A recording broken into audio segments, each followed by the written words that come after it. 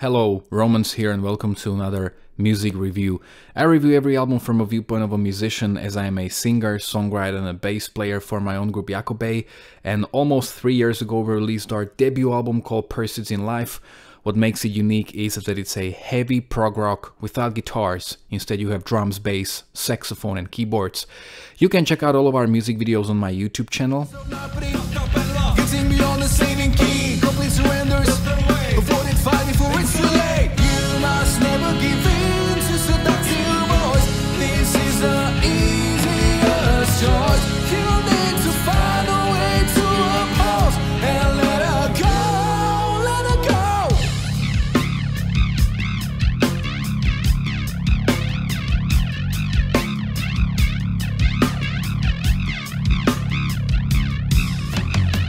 And in the description of all these videos you will find all the information about where is the record available. It's available on all digital platforms like Spotify, Tidal, Deezer, iTunes, Amazon, Bandcamp, but also in this digipack version of a CD with a very beautifully illustrated 20 pages long booklet.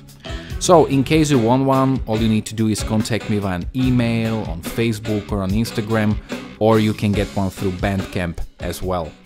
And today I'm going to review the new album from Wheel, Resident Human. Music review. Music review. So it's been a while since I made a review because I've been really busy working on my second album. There's like all my time really goes into that. But whenever I discover something that is worth mentioning, I'm, I'll make a review for it. And that's the case with Wheel. This is actually a band I discovered like um, six days ago. Uh, basically, they released their second album, Resident Human, I think last Friday, and I basically discovered them a day before that. So uh, they are a Finnish prog metal band, and they're relatively young, you know, relatively new band considering that this is their second album, the first one coming out in 2019, and the first album was preceded by two EPs, but I think that they they've been around since like 2016, 2017, which is a very short time. And based on their Spotify stats, they have like over 100,000 monthly listeners, which is amazing. Like that's that's really amazing. Like for example, Fates Warning, when they released their brilliant uh, album last year, they had like 60,000 monthly listeners at that point, and we're talking about one of the icons and legends in prog metal. And you know, Wheel as a newcomer, I mean they either have a lot of money or they have a very good team, so very good for them. It's, it's very nice and very rare to see new bands sort of a, having this sort of a, let's say success, let's call it success.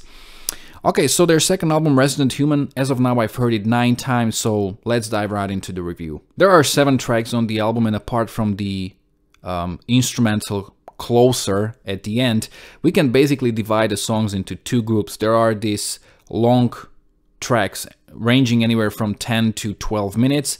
And then there are three shorter tracks, all of which almost exactly clocking in at around four and a half minutes. So the album opens up with Dissipating, which is one of those almost 12 minutes long songs. And I love how slowly the song is building up. It takes its time and there's a huge emphasis on the atmosphere and on the melody.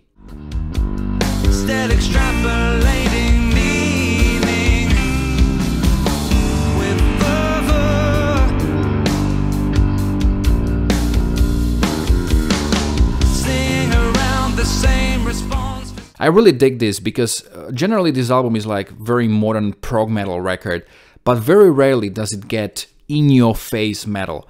And yeah, I like it. Movement is a song that they shot a music video for, and this is much more of a metal song, very serious, very aggressive.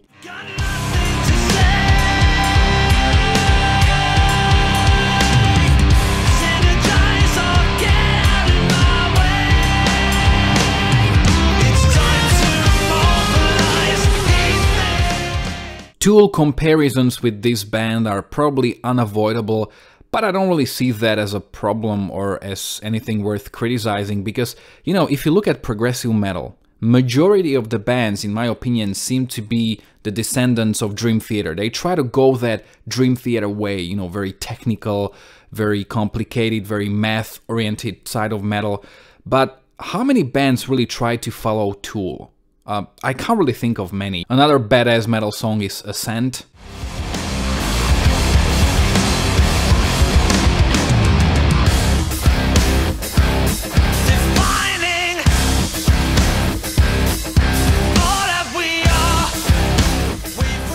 But there are enough moments in this song to kind of make it breathe. There's a lot of dynamics. Another 12 minutes long song is Hyperion, if I pronounce it right. Again, it's about that atmosphere, kind of bringing Karnivool to mind. I like how the song takes its time.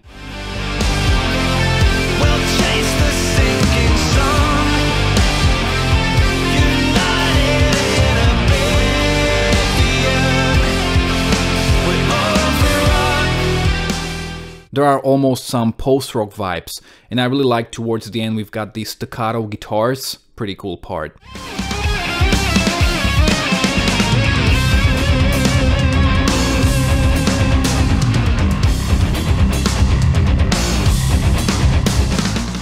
The next track, I really don't know how it's pronounced. F-U-G-U-E, it's like Fugi or Fugi or I don't know. Well, whatever.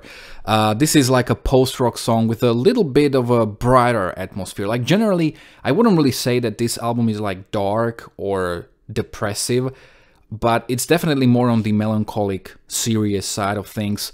And this track is one of those brighter moments.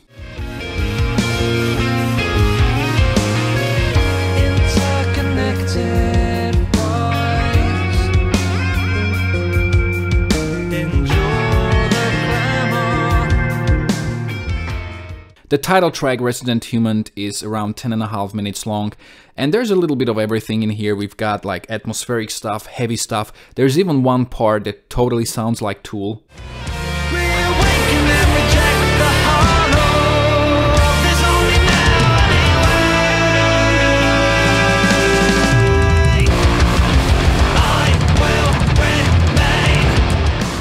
And the album ends with a short ambient piano-led instrumental old Earth.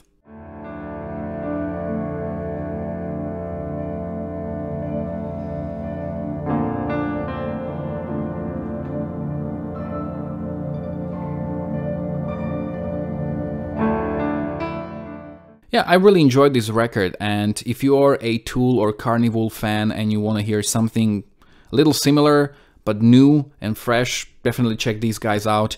I like the variety on the record, you know, the longer tracks are quite different from the shorter ones, but at the same time the record is very cohesive and it works um, as, a, as a whole record really well. And also, you know, considering that this is like a modern sounding prog metal, at times maybe reminding me even of Tesseract a little bit, uh, this is kind of a music I would preferably listen to at night but I don't know if it's the timing or if it's really the record. But I mean, this is a pretty great fit for like this beginning of spring, you know, like uh, very sh uh, summer shining, summer shine, sun shining, you know, uh, very for this bright weather, you know, when the sun is shining and it's really really beautiful outside. So yeah, go check these guys out. If you like this video and if you like the videos I'm making, consider supporting me by purchasing my debut album Pursuits in Life.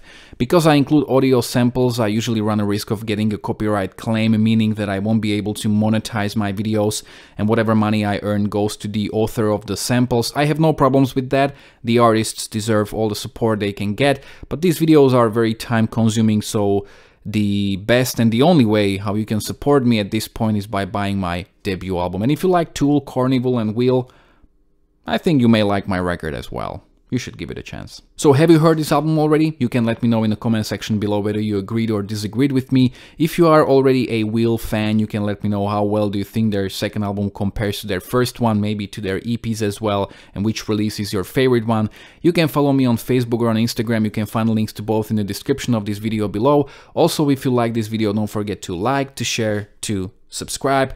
You can check out my own original music, my live performances, my worst to best series, and quite a lot of other videos as well. Thanks a lot for watching.